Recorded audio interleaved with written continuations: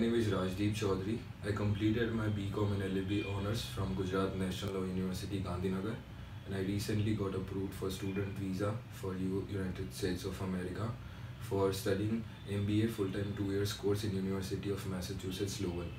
Working with overseas consultant has been an amazing experience. Each and every member of the staff has been very helpful and were available at any point of time for any doubt and queries.